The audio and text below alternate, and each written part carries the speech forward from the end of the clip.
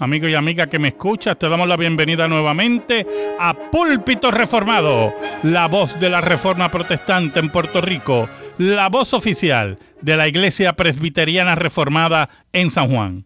Te habla el reverendo Carlos Crumoya y te invitamos a que te quedes con nosotros en la próxima hora para que escuches palabra de Dios, la palabra que no se equivoca, la palabra que no vuelve atrás vacía, esa palabra que como espada de dos filos penetra hasta lo más profundo del corazón del hombre y la mujer. En esta hermosa noche en San Juan de Puerto Rico vamos a tener el tema el cuerpo glorificado. El cuerpo glorificado. Así que amigo y amiga que me escucha, busca tu Biblia, la palabra de Dios, la única regla de fe y conducta para discutir este tema tan interesante, el cuerpo glorificado. En esta noche me acompaña el hermano Andrés Martínez. Dios bendiga a los que nos oyen. Y un servidor, el reverendo Carlos Cruz Moya. Así que amigo y amiga que me escucha, busca tu Biblia, la palabra de Dios, la única regla de fe y conducta y buscamos Primera de Corintios, vamos a leer un pasaje un poco extenso, Primera de Corintios capítulo 15 versículos del 35 al 50. Primera de Corintios capítulo 15 versículos del 35 al 50. Dice así la palabra de Dios. Pero dirá alguno, ¿Cómo resucitarán los muertos? ¿Con qué cuerpo vendrán? Necio, lo que tú siembras no se vivifica si no muere antes. Y lo que siembras no es el cuerpo que ha de salir, sino el grano desnudo, ya sea de trigo o de otro grano. Pero Dios le da el cuerpo como Él quiso, y a cada semilla su propio cuerpo. No, no toda carne es la misma carne sino que una carne es la de los hombres, otra carne la de las bestias, y otra la de los peces, y otra la de las aves. Y hay cuerpos celestiales y cuerpos terrenales, pero una es la gloria de los celestiales y otra la de los terrenales. Una es la gloria del sol, otra la gloria de la luna, y otra la gloria de las estrellas, pues una estrella es diferente de otra en gloria. Así también es la resurrección de los muertos. Se siembra en corrupción, resucitará en incorrupción. Se siembra en deshonra, resucitará en gloria. Se siembra en debilidad, resucitará en poder. Se siembra cuerpo animal, resucitará cuerpo espiritual. Hay cuerpo animal y hay cuerpo espiritual. Así también está escrito, fue hecho el primer hombre Adán, alma viviente, el postrer Adán, espíritu vivificante. Mas lo espiritual no es primero, sino lo animal, luego lo espiritual. El primer hombre es de la tierra, terrenal. El segundo hombre, que es el Señor, es del cielo. Cual el terrenal, tales también los terrenales. Y cual el celestial, tales también los celestiales. Y así como hemos traído la imagen del terrenal, traeremos también la imagen del celestial. Pero esto digo, hermanos, que la carne y la sangre no pueden heredar el reino de Dios, ni la corrupción heredará la incorrupción. Amén. En esta noche hemos querido tocar el tema del cuerpo glorificado porque es un tema que hemos notado que a varias personas, a muchos hermanos le interesa y creemos eh, que podemos hablar de las diferentes facetas del cuerpo glorificado y qué es lo que significa la resurrección a la luz de la escritura, de la palabra de Dios. Lo primero que tenemos que tener claro muy importante, que las resurrecciones que Cristo llevó a cabo en su ministerio, la resurrección que se registra de, del apóstol Pedro y la resurrección que se registra que realizó el apóstol Pablo, nada tienen que ver con las resurrecciones que menciona, o la resurrección que menciona aquí el apóstol Pablo en Primera de Corintios 15.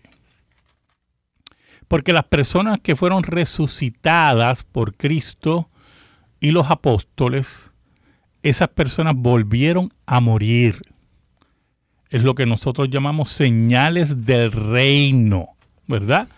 Cristo inaugura el reino en su, primer en su primera llegada, inaugura el reino, eh, y hace unas señales, entre ellas la resurrección de muertos, pero eso, mismo son señales, anunciando, ¿verdad? Que viene un reino en el cual la muerte será derrotada finalmente. Pero eran solamente señales porque todas esas personas, en el caso de Cristo, de las tres resurrecciones que se menciona en, el ministerio de Cristo, sabemos que hizo otras más, eh, la, la hija de Jairo, el hijo de la viuda de Naín y Lázaro, esas tres personas murieron, volvieron a morir. Por lo tanto, el apóstol Pablo está tocando otro tema en Primera de Corintios 15, porque había un problema en Corintios del sinnúmero de problemas que había en la iglesia de Corinto. Uno de ellos era que había personas negando la resurrección. La resurrección. Y utilizaban diferentes argumentos y uno de ellos, eh, aparentemente, por lo que dice Pablo en, en, la carta, era que no había una explicación de cómo iba a ocurrir la resurrección y cómo iban a salir las personas, cómo la gente se iba a salir resucitada, o sea, cómo se iban a ver, cómo iban a ser resucitados. Por eso Pablo en el versículo 35 comienza con unas interrogantes diciendo, ¿cómo, ¿cómo, va a ocurrir esto? Y en el versículo 36 dice, necio. ¿Por qué le dice necio? Porque está hablando, está dirigiéndose a las personas que niegan la resurrección. Y esto es muy importante. Desde, el tiempo de la iglesia primitiva, existían personas negaban la resurrección futura. No solamente negaban la resurrección de Cristo, ¿verdad? No solamente negaban que Cristo... Eh, no había resucitado. Exacto, que no había resucitado, sino que al mismo tiempo negaban la futura resurrección. Y por eso el apóstol Pablo se introduce a discutir estos temas. En ese sentido, el apóstol Pablo toma una analogía eh, agrícola, si podemos llamarla así, de la semilla, ¿verdad? Para que la semilla germine tiene que morir, dice el apóstol Pablo. Cuando usted siembra una semilla, esa semilla contiene el patrón de la planta, ¿verdad? El, eh, todo el código genético de la planta y muere y entra en ese proceso para que surja esa primera plantita, surja nuevamente y surja la vida, pero para eso tiene que morir. Y esa es la analogía que utiliza el apóstol Pablo. Así como lo, eh, el grano desnudo, dice el apóstol Pablo, ya sea de trigo o de otro grano, es sembrado y muere para dar vida, pero Dios le da, dice el versículo 38, pero Dios le da el cuerpo como Él quiso y a cada semilla su propio cuerpo, ¿verdad? Cada una tiene su característica. Así ocurre con nosotros. Por eso Pablo dice en el versículo 39, no toda carne es la misma carne, sino que una carne es la de los hombres, otra carne es la de las bestias, otra de los peces y otra de las aves. Así hay diferentes, ¿verdad? Carnes, diferentes eh, cuerpos, diferentes materias carnales. Y entonces dentro de esa analogía, Pablo nos habla que hay cuerpos celestiales y cuerpos terrenales. Pero una es la gloria de los celestiales y otra es la de los terrenales. ¿Y qué nos quiere decir el apóstol Pablo? Pues mire, el apóstol Pablo nos quiere decir que cuando nosotros muramos y venga la resurrección, nuestro cuerpo va a ser transformado, totalmente transformado, totalmente renovado, redimido. Si nosotros eh, buscamos un pasaje muy importante eh, que se encuentra en Filipenses capítulo 3, versículo 21, el apóstol Pablo nos dice lo siguiente. El cual transformará el cuerpo de la humillación nuestra para que sea semejante al cuerpo de la gloria suya, por el poder con el cual puede también sujetar a sí mismo todas las cosas. O sea, nuestro cuerpo, que es llamado un cuerpo de humillación, porque está limitado por el pecado, está limitado por la muerte, es un cuerpo que tenemos que ¿verdad? cuidar, es un cuerpo que se hiere, es un cuerpo que se enferma. Un día va a ser transformado a la semejanza del cuerpo de Cristo. Ahora, ¿cómo era el cuerpo de Cristo cuando Él resucitó? Pues mire, el cuerpo de Cristo tenía unas características que no tenía su cuerpo antes de morir. Por ejemplo, el cuerpo de Cristo ya podía traspasar paredes, no tenía limitaciones físicas para, para traspasar paredes. El, el, cuerpo de Cristo ya tenía una capacidad la cual él ya no podía morir, porque ya era un cuerpo que no podía morir. Y entonces nosotros ya tenemos una visión de cómo va a ser el cuerpo, ¿verdad? Glorificado. Cristo no había terminado su glorificación, ¿verdad? Su mm. glorificación terminó cuando fue ascendido a los cielos, pero ya tenemos las primeras señales de cómo va a ser el cuerpo glorificado. Eso ¿verdad? Dando un pequeño salto. Eh, eh, eh, no solamente va a haber un cuerpo glorificado, sino que va a haber una, una psiquis, ¿verdad? Entonces, esto es toda una transformación no solamente del cuerpo, porque la, la, la, corrupción no solamente afectó nuestro cuerpo, sino, sino todo nuestro ser. Y entonces esa transformación va a tomar lugar desde todas las facultades de nuestra persona hasta la parte exterior que es el cuerpo humano. ¿no? En ese sentido, nuestro cuerpo y nuestra mente va a ser totalmente transformada. Entonces el apóstol Pablo quiere combatir aquí en Corinto a las personas que niegan la resurrección explicando, explicando parte de cómo va a ser el cuerpo glorificado. Por ejemplo, Mira el versículo 42, dice el apóstol Pablo, así también es la resurrección de los muertos. Se, siembra en corrupción, ¿verdad? Eh, nosotros morimos, tenemos un cuerpo que, que se va a descomponer, es un cuerpo que ha sido expuesto al pecado, expuesto a la muerte, es un, pueblo, es un, es un cuerpo corrupto, y dice, resucitará en incorrupción. ¿Y qué significa eso? Es un cuerpo que ya no va a morir, es un cuerpo que ya no va a estar afectado por el pecado, es un cuerpo que ya no va a estar afectado por las enfermedades, es un cuerpo que no va a estar afectado por las depresiones. No se va a descomponer. No se va a descomponer. Es un cuerpo que va a vivir para siempre, es un cuerpo que no va a necesitar dormir.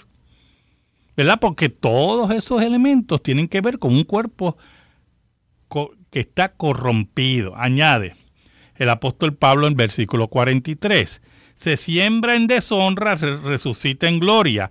Se siembra en debilidad, resucita, resucitará en poder. O sea, es un cuerpo fuerte, saludable y que no va a desmejorar. Lo que nosotros llamamos un cuerpo glorificado, un cuerpo glorificado. Un cuerpo con nuevos elementos que Dios ha dado para que así enfrente enfrente, muy importante, la gloria, ¿verdad? El paraíso y pueda vivir en el paraíso con Dios. Añade el apóstol Pablo, ¿verdad? Dentro de esas analogías y esa repetición de la prosa judía, dice, se siembra cuerpo animal, resucitará cuerpo espiritual. Ahí, es que nosotros hablamos del cuerpo glorificado, el cuerpo espiritual. Ya no es un cuerpo animal, o sea, un cuerpo que está expuesto a la muerte. Ahora es un cuerpo espiritual, es un cuerpo que ha sido totalmente renovado a la semejanza, a la semejanza de Cristo. Y vamos a buscar otro pasaje en Romanos 8, versículo 23. En Romanos 8, versículo 23. Mire cómo nos dice nuevamente el apóstol Pablo. Y no solo ella. Vamos a leer desde el 22. Muy bien. Porque sabemos que toda la creación gime a una y aún, es, y aún está con dolores de parto hasta ahora. Y no solo ella, sino que también nosotros mismos, que tenemos las primicias del Espíritu, nosotros también gemimos dentro de nosotros mismos, esperando la adopción, la redención de nuestro cuerpo. La redención de nuestro cuerpo. ¿Usted sabe por qué? Porque todas las cosas que Dios ha creado son buenas. Son buenas. Y si usted va conmigo a Primera de Corintios, capítulo 6, y este pasaje es muy importante. Primera de Corintios, capítulo 6, los hermanos que están estudiando la Biblia con nosotros, versículo 13 al 20, pero eh, voy a leer eh, desde el versículo 18, dice el apóstol Pablo, 1 Corintios 6, del versículo 18. Mire cómo dice el apóstol Pablo. Huid de la fornicación. Cualquier otro pecado que el hombre cometa está fuera del cuerpo, mas el que fornica contra su propio cuerpo peca. O sea, el, el único pecado contra el cuerpo es la fornicación. Eso tiene que quedar claro. Yo, hermano, el único pecado contra el cuerpo, que es el templo del Espíritu Santo, es la impureza sexual. Así lo dice el apóstol Pablo ahí. Pero añade el apóstol Pablo o ignoráis que vuestros cuerpos es templo del Espíritu Santo, el cual está en vosotros, el cual tenéis de Dios y que no sois vuestros, porque habéis sido comprados por precio. Glorificad pues a Dios en vuestro cuerpo y en vuestro espíritu, los cuales, los dos, son de Dios. Son de Dios. Son de Dios. Por eso es que va a haber una resurrección, porque en el pensamiento judeo-cristiano, en la revelación bíblica, todo lo que Dios ha hecho lo ha hecho bueno y aunque haya sido corrompido por el pecado, tarde o temprano Dios va a renovar todas las cosas y el cuerpo que Dios lo había creado bueno va a, volver, va a ser renovado por Dios y, y las almas se van a unir nuevamente a sus cuerpos y el hombre será uno nuevamente en un cuerpo glorificado. Ahora, mire cómo dice el apóstol Pablo en el, en el versículo 45. Así también está escrito, fue hecho el primer hombre Adán alma viviente, el postrer Adán espíritu vivificante, ¿verdad? Porque Cristo, que es el segundo Adán, viene a renovar todas las cosas. Es aquel que da vida y vida eterna. El primer Adán nos trajo qué? Pecado, enfermedad. Enfermedad por su acto pecaminoso, pero el postrer Adán, que es Cristo, nos trae la vida. Pero mire, más interesante es lo que dice el versículo 46, que mucha gente se ha confundido con él. Mas lo espiritual no es primero, sino lo animal, luego lo espiritual. dice, ah, pero ¿por qué dice que, que lo espiritual no es primero? Porque mire, dice la Biblia que Adán fue creado primero de la tierra, ¿verdad? Y después Dios dio el soplo de vida, puso el espíritu. Primero fue que lo terrenal, Dios creó a Adán de, de, de la tierra, ¿verdad? Y después le dio el espíritu de vida. Y añade el apóstol Pablo, el primer hombre es de la tierra terrenal, el segundo hombre que es el Señor es del cielo. Por lo tanto, nosotros en la resurrección vamos a ser semejantes al Señor, con un cuerpo glorificado, el cual no va a tener limitaciones de espacio, no va a tener limitaciones del punto de vista de, paredes y cosas así, y va a ser un cuerpo que no va a ser dirigido hacia el pecado, va a ser un cuerpo con todas las fortalezas, un cuerpo que no se va a desgastar, no va a morir y va a ser totalmente fuerte. Eh, Juan, acerca de eso último que dijiste, dice, amados, ahora somos hijos de Dios y aún no se ha manifestado lo que hemos de ser, pero sabemos que cuando Él se manifieste, seremos semejantes a Él porque le veremos tal como Así mismo es. Bueno, vamos a seguir con este tema más adelante. Vamos a pasar a la noticia religiosa con el hermano Andrés Martínez. Dice así, decenas de musulmanes se hacen cristianos en Finlandia. El semanal cristiano UCT hizo una encuesta sobre la cantidad de bautismos cristianos entre los nuevos inmigrantes del país se han documentado al menos 235 bautismos. El pasado otoño, casi 30.000 musulmanes llegaron a Finlandia como parte de la gran ola de inmigrantes al continente procedentes de Europa. Muchas iglesias afrontaron una experiencia nueva sorprendente, pues los musulmanes iban a las iglesias con preguntas sobre la fe cristiana. La iglesia histórica nacional del país es la iglesia evangélica luterana. Un especialista en asuntos de inmigrantes en esta denominación dice que el interés ha sido muy significativo entre afganos, iraquíes e iraníes. Se han ofrecido clases de bautismo para aquellos que especifican que quieren convertirse al cristianismo. Pero no todos dan el paso de ser bautizados. Estos últimos normalmente duran varios meses y por lo tanto hay mucho tiempo, mucho tiempo para considerar la posibilidad de ser bautizados. Las clases las imparten o bien en inglés o con la ayuda de un intérprete. Se usa el idioma de los estudiantes para la Biblia y el catecismo. Un pastor veterano de la iglesia luterana explica que los que vienen a ser bautizados están cansados de la violencia del Islam y les atrae el amor y la gracia del mensaje cristiano. La encuesta abarcó 165 iglesias luteranas, seleccionando aquellas donde hay centros de recepción en la zona parroquial. Se preguntó a los pastores veteranos cuántos solicitantes de asilo musulmanes se habían bautizado de, entre los que llegaron a Finlandia en otoño del 2015. Se recibieron 128 respuestas. En estas iglesias se bautizaron un total de 117 musulmanes. musulmanes.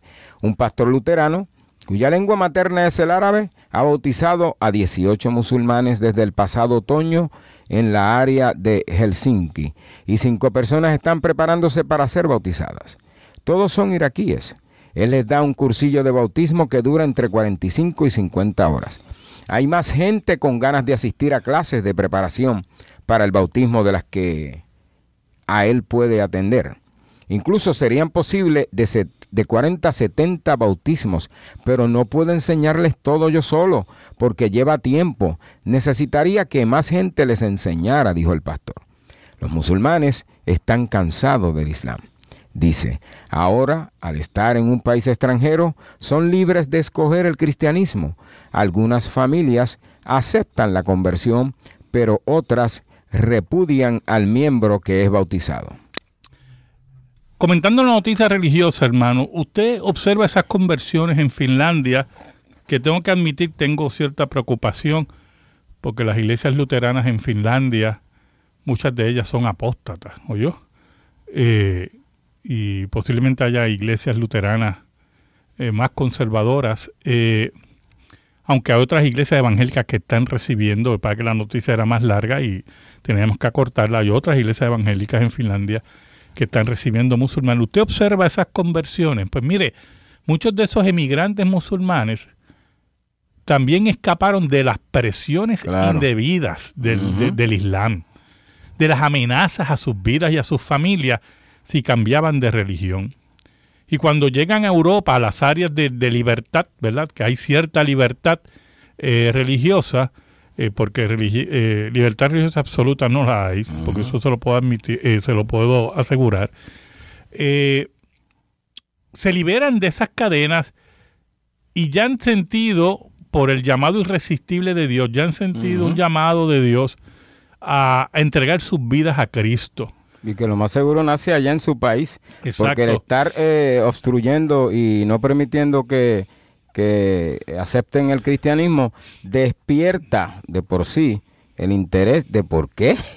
y pasaba con, con Roma imperial contra el cristianismo y la gente se da cuenta que em, los mataban, pero si ellos no hacían nada para que los mataran, pues eso despertaba el interés de qué es lo que pasa con esta gente. Exacto, exacto.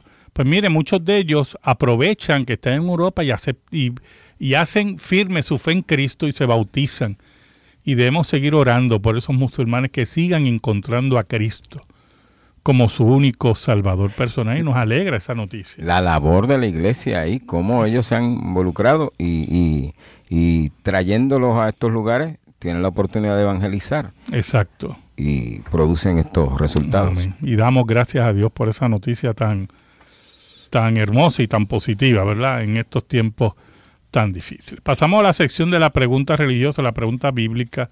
El hermano Claudio de Carolina, un saludo, felicita el programa y pregunta si es cierto que cuando tengamos cuerpo glorificado seremos semejantes a los ángeles. Bueno, vamos a ver lo que usted quiere decir, la pregunta, ¿verdad? Número uno, los ángeles no tienen cuerpo. Vamos a empezar por ahí. La Biblia dice que son espíritus, espíritus eh, ministradores, ¿verdad?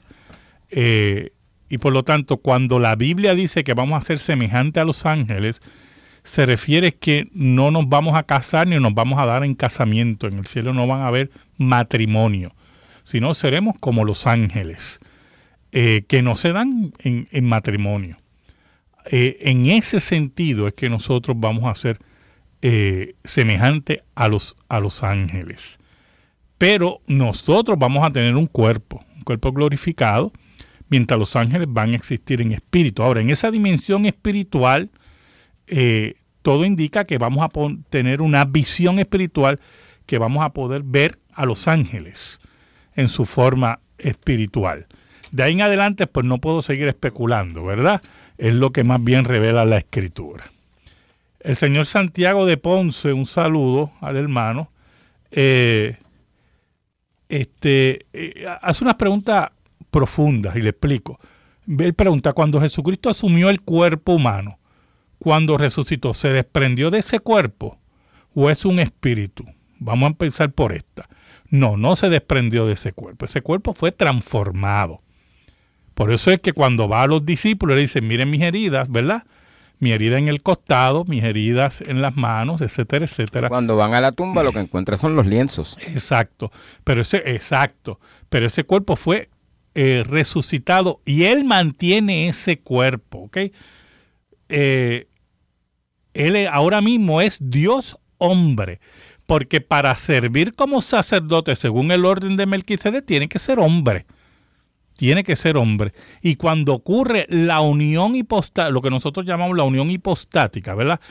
Eh, el cual el verbo asume cuerpo, asume cuerpo, ese cuerpo posteriormente es glorificado y es para siempre. Cristo va a ser siempre Dios hombre y está sentado a la diestra de Dios. Pero él pregunta, ¿puede estar en todos los lados? Bueno, Cristo puede estar en todos los lados, pero desde el punto de vista de, del protestantismo reformado y evangélico en general, exceptuando algunas iglesias, nosotros creemos que el cuerpo de Cristo está en un solo lugar, a la diestra del Padre. Nosotros no creemos que el cuerpo de Cristo está en todo lugar, sino está en un solo lugar. El que está en todo lugar, y ahí está el misterio, es Cristo, ¿verdad? Como Dios. Pero el cuerpo de Cristo está en un solo lugar, a la diestra del Padre. Roma es la que enseña, ¿verdad? Que mediante la transustanciación, cuando se convierte el, el vino y el pan en el cuerpo y la sangre de Cristo, en todos los altares está el cuerpo de Cristo porque ellos creen, ¿verdad?, en la comunicación de propiedades, de atributos, mejor dicho, la comunicación de atributos, que la omnipresencia, el atributo de Dios, se le transfirió, se le comunicó a la naturaleza humana de Cristo. La teología reformada no cree eso, no cree eso, cree que Cristo está en un solo lugar, a la diestra del Padre y en ese sentido, Cristo ministra desde el cielo como Dios hombre y sacerdote según el orden de Melquisedec por todos los creyentes. Entonces el apóstol Pablo continúa contestando la misma pregunta, ¿verdad? ¿Cómo resucitarán los muertos? ¿Con qué cuerpo vendrán? Y ya él ha dicho, ¿verdad?, que es semejante al de Cristo. Él ha dicho que va a ser un cuerpo glorificado, un cuerpo eh, que va a tener eh, todas las cualidades que tiene el cuerpo glorificado de Cristo, un cuerpo que no va a volver a morir.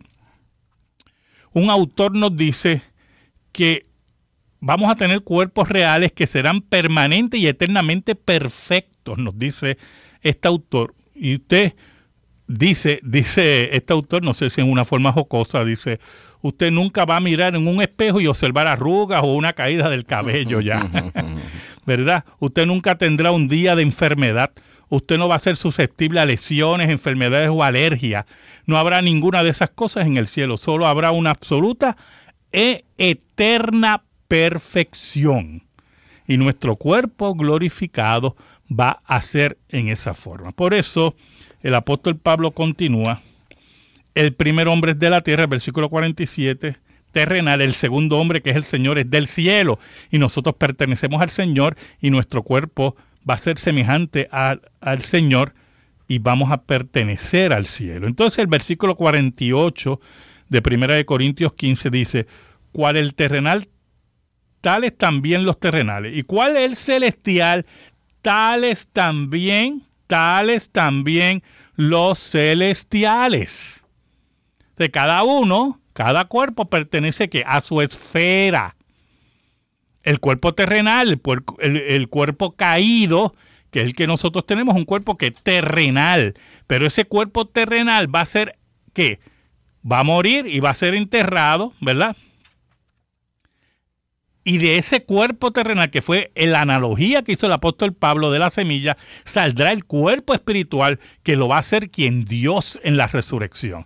La Trinidad va a estar envuelta en ese acto de la resurrección y ese cuerpo terrenal se convertirá en un cuerpo celestial. Celestial. Él, le llama espiritual por un lado y le llama celestial. Muy importante porque son sinónimos dentro de esta discusión.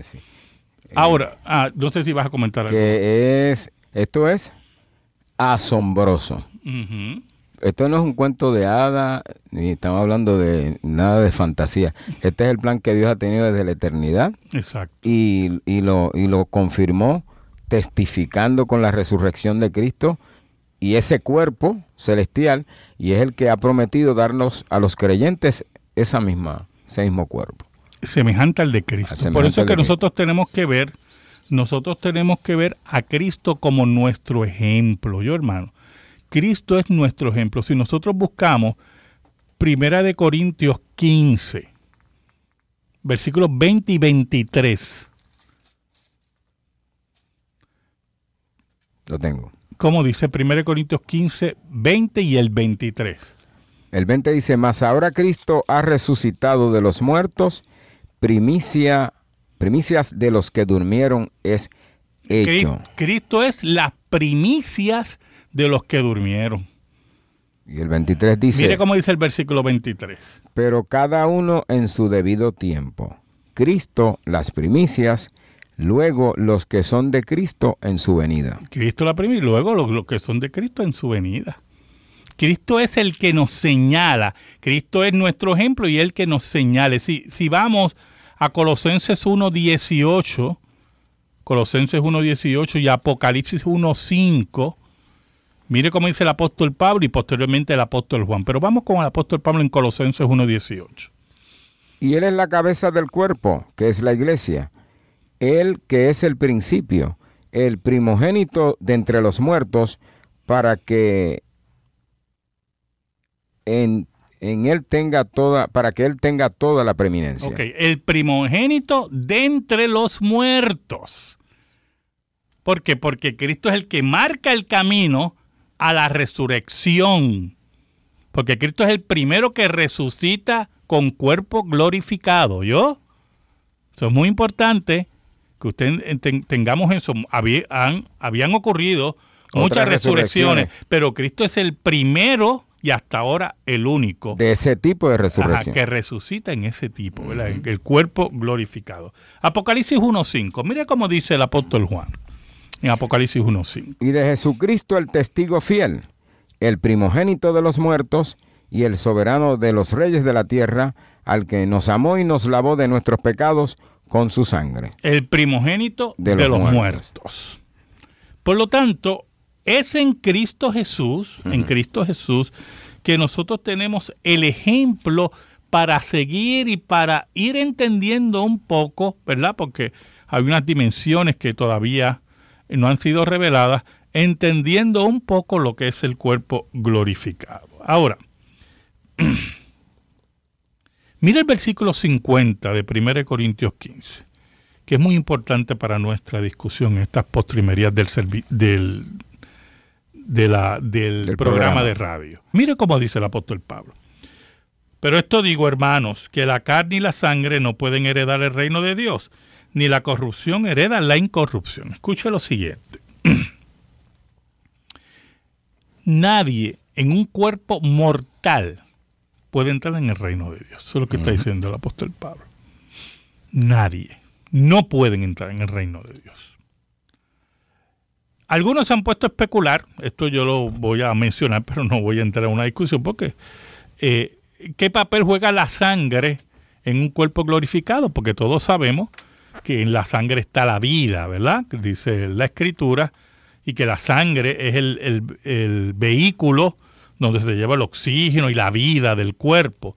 Pero en un cuerpo glorificado, la sangre no jugará ese papel, porque el que nos sostiene es Dios. Por eso algunos teólogos han planteado que los cuerpos glorificados no van a tener sangre. Pero eso ya es una, una especulación, porque usted también lo puede ver eh, si van a tener sangre o no, o no van a tener sangre, usted puede ver que el cuerpo y la sangre va a ser una sangre glorificada, ¿verdad?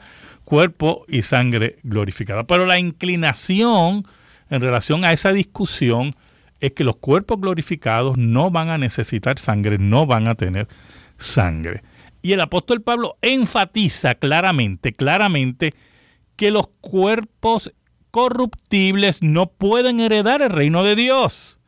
Por eso es la importancia de la resurrección, la importancia que muera el cuerpo, la importancia de la analogía, ¿verdad? Del apóstol Pablo de la semilla, que la semilla muere y da vida, una nueva vida. Así ocurre con la muerte. Dios da un nuevo cuerpo, reconstruye ese cuerpo, todas las partículas de ese cuerpo que él conoce muy bien, porque por eso es Dios, ¿verdad? y lo convierte en un nuevo cuerpo, el cuerpo espiritual, el cuerpo glorificado, para que así pueda heredar, tenga las capacidades también de heredar el reino de Dios. Se añade el apóstol Pablo, y esto es muy importante, eh, ni la corrupción hereda la incorrupción. Un cuerpo en pecado, un cuerpo caído, no puede heredar el reino de Dios, que es incorrupto, ¿verdad? Que el reino de Dios que es una vida pía, una existencia pía. Un cuerpo impío, un cuerpo caído, un cuerpo débil, no puede heredar el reino de Dios. Juan dice en el Apocalipsis, verso 27 del, del capítulo 21, no entrará en ella ninguna cosa inmunda. Ninguna cosa inmunda, ninguna cosa corrupta. Ese cuerpo glorificado al final de los tiempos ese cuerpo es el que va a heredar el reino de Dios. Va a haber personas, que el apóstol Pablo también lo discute más adelante, yo En el versículo 51 en adelante de 1 Corintios 15, va a haber personas, mire cómo dice el apóstol Pablo, y con esto vamos a terminar en esta noche. Aquí os digo un misterio, no todos eh, dormiremos, o sea, no todos vamos a morir, ¿verdad? Pero todos seremos transformados en un momento un abrir y cerrar de ojos a la final trompeta, porque se tocará la trompeta y los muertos serán resucitados incorruptibles y nosotros seremos transformados. O sea, el apóstol Pablo dice, quiero que quede claro lo siguiente, para aquellos que niegan la resurrección y quieren enredar la cosa. Cuando el Señor venga, los que están muertos van a resucitar en cuerpos que es incorruptibles, dice el apóstol Pablo. Pero dice, pero si nosotros estamos vivos, los que están vivos, van a ser transformados en un abrir y cerrar de ojos. Porque lo corruptible no puede. No puede heredar el reino de Dios. Escríbenos. Púlpito Reformado, Pio Box 363864, San Juan, Puerto Rico 00936. Púlpito Reformado, Pio Box 363864 San Juan, Puerto Rico 00936. Si te interesa que este programa de radio se mantenga en el aire, puedes enviar tu ofrenda a nombre de la Iglesia Presbiteriana Reformada a la misma dirección. Púlpito Reformado, Pio Box 363864 San Juan, Puerto Rico 00936. Le pido al Señor en esta hora que bendiga tu hogar, que bendiga tu vida, que bendiga tus finanzas y tus negocios, que bendiga tu familia y que la paz de Cristo, que sobrepuja todo entendimiento, esté sobre ti y los tuyos en esta hora. Dios te bendiga rica, ricamente. Amén.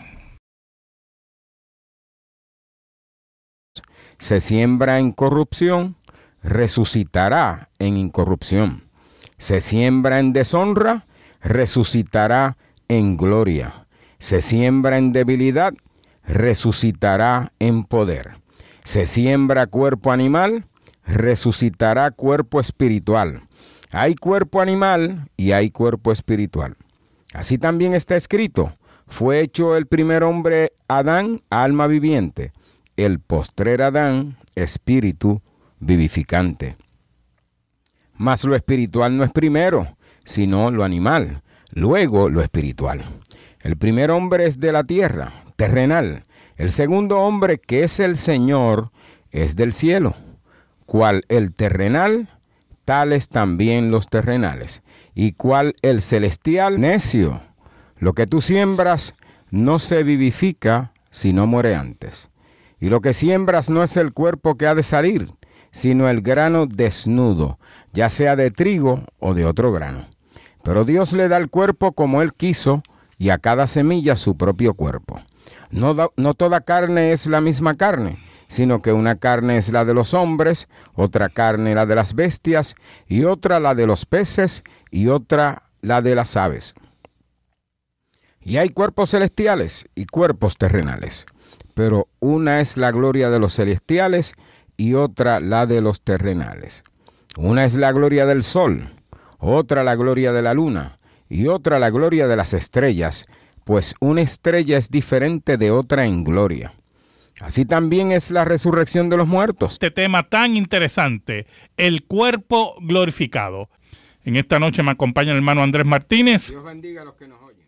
Y un servidor, el reverendo Carlos Cruz Moya. Así que amigo y amiga que me escucha, busca tu Biblia, la palabra de Dios, la única regla de fe y conducta. Y buscamos Primera de Corintios, vamos a leer un pasaje un poco extenso. Primera de Corintios, capítulo 15, versículos del 35 al 50.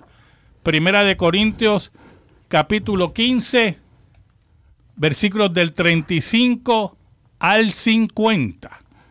Dice así la palabra de Dios. Pero dirá alguno, ¿cómo resucitarán los muertos? ¿Con qué cuerpo vendrán? Tales también los celestiales. Y así como hemos traído la imagen del terrenal, traeremos también la imagen del celestial. Pero esto digo, hermanos, que la carne y la sangre no pueden heredar el reino de Dios, ni la corrupción heredará la incorrupción. Amén. En esta noche hemos querido tocar el tema del cuerpo glorificado porque es un tema que hemos notado que a varias personas, a muchos hermanos le interesa y creemos eh, que podemos hablar de las diferentes facetas del cuerpo glorificado y que, qué es lo que significa la resurrección a la luz de la escritura, de la palabra de Dios. Amigo y amiga que me escuchas, te damos la bienvenida nuevamente a Púlpito Reformado, la voz de la Reforma Protestante en Puerto Rico, la voz oficial de la Iglesia Presbiteriana Reformada en San Juan.